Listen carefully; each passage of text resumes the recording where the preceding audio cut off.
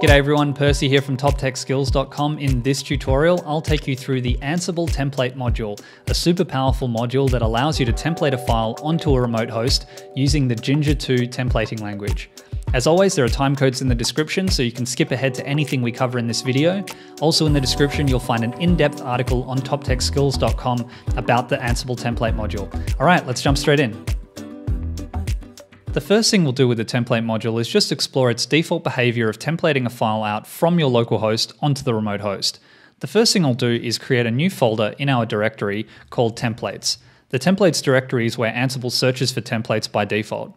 Let's say we're configuring an application called My App. What I'd like to do is create a template in here that is myapp.conf.j2. The .j2 extension is the extension for a Jinja 2 file, which is the name of the templating language that Ansible uses for its templates. So now that we're configuring our application, one of the things I'd like to set for my application is the environment, so dev, staging, production. And what we'll do in the Jinja 2 syntax is use our double curly braces, and this implies that we're templating out a variable. So I'm going to template out an env variable, now this variable doesn't exist yet, and the way that I'm going to do that is jump back into our playbook and I'm going to add a vars area and I'm going to set the env to staging in this case. So this is a global variable that's going to be templated out into our configuration file. The other thing that I'd like to put on there is some host specific variables. So when we use template, we can not only template out global variables that we've set in our playbooks or our group vars, but we can also template variables that exist only for that specific host. So for instance, let's set the local IP to the Ansible host.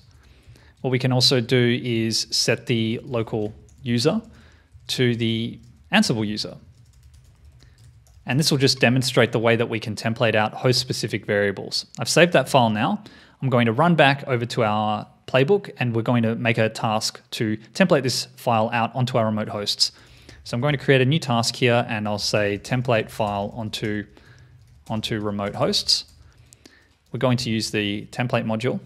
For the template module, we need to, as a minimum, set the source and the destination. The source is going to be the path to the file relative to the templates directory.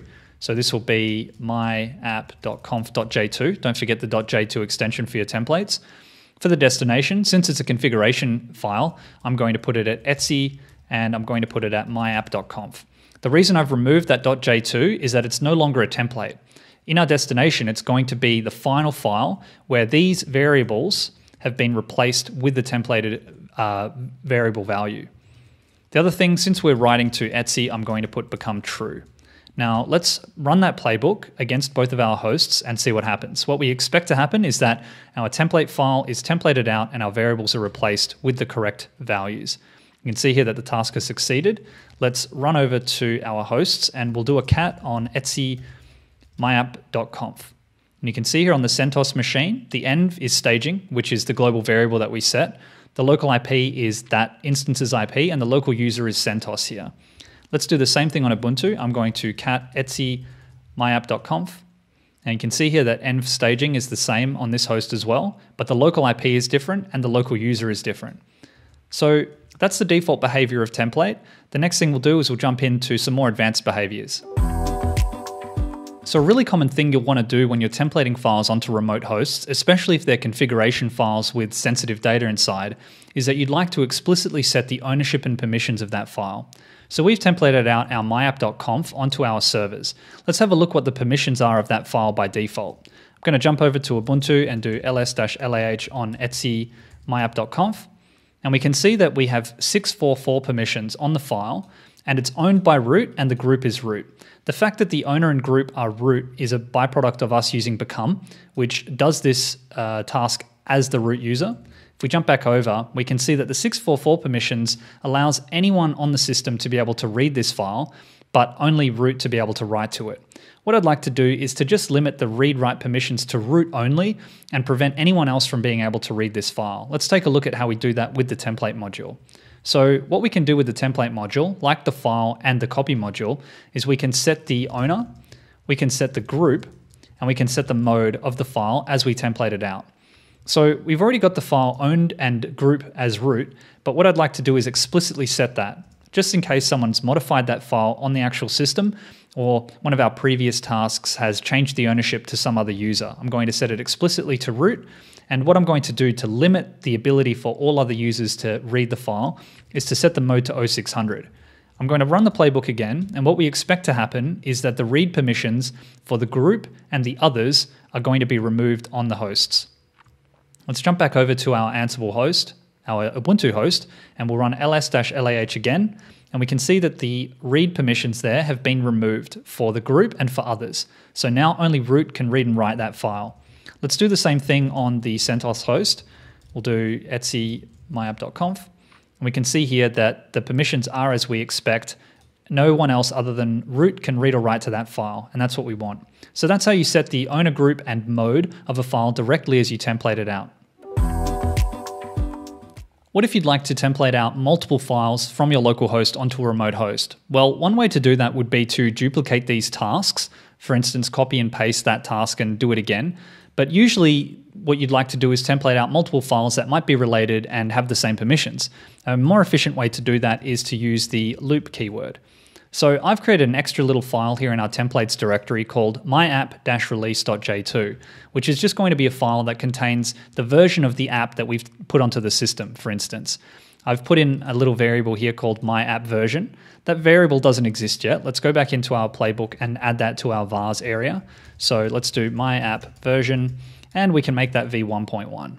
Let's save that. And now in our playbook, what we'll do is we'll flesh out this loop. So what I'd like to do is put the myapp.conf on there, and I'd also like to put the my app release file on there. So now we need to modify our template call to work with our loop. So first thing here is I'm just going to replace that myapp.conf with item. And then in here, in the destination, I want to put them both in etc. So I'm just going to replace that second part with item. Let's run this playbook against both of our hosts now. And what we expect to happen is that both of our files are templated onto the remote hosts with the owner set to root, the group set to root, and the mode set to 0600. Let's have a look in our output there. So both of the files have succeeded on both hosts. Let's jump over to the host and take a look at our files. I'm going to run ls-lah on etc myapp star here, and that's going to show us all the files that start with myapp. So we can see here the 0600 permissions with the user and the group of root on both our etc myapp.conf and etc myapp-release. So let's cat the output of these files just to make sure that the content is correct. I'm going to do cat etc, let's start with the myapp.conf. And you can see here that permission is denied by default, and that's because we're logged in as CentOS, and we've got 0600 permissions on there, so only root is going to be able to read that. If I just go back and I do sudo cat, that's going to allow us to read it because sudo lets you run the command as the root user. So you can see here that the output of the file is as we expect. Let's do sudo cat etc my app dash release. And we can see that the output there is my app v1.1. So that's how you'd use template to template out multiple files onto the remote host using the loop keyword. Thanks a lot for watching everyone. I really hope you found that tutorial useful. If you have any questions at all about anything you saw in the video, please hit me up in the comments and I'll gladly get back to you. If you enjoyed the video, please give it a like, and if you'd like to see more content like this, please consider subscribing to our channel. Thanks again for watching, and I'll see you next time.